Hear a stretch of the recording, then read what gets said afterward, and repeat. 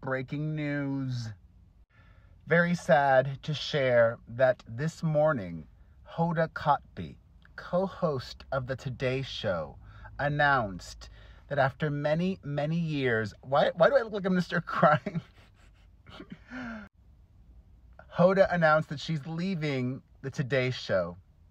And I think I'm gonna cry for a few reasons.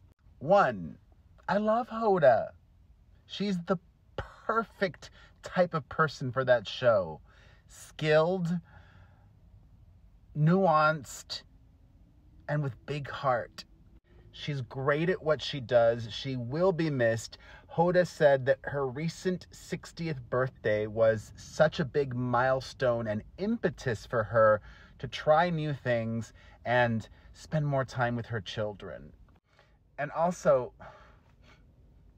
at the very beginning of my career, I think even before she was on the Today Show, Hoda interviewed me for Dateline.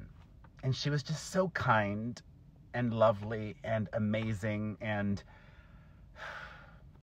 change. Change is the one sure thing in life because some people can get away without paying taxes, but we all change. Every single day, we're a little bit different.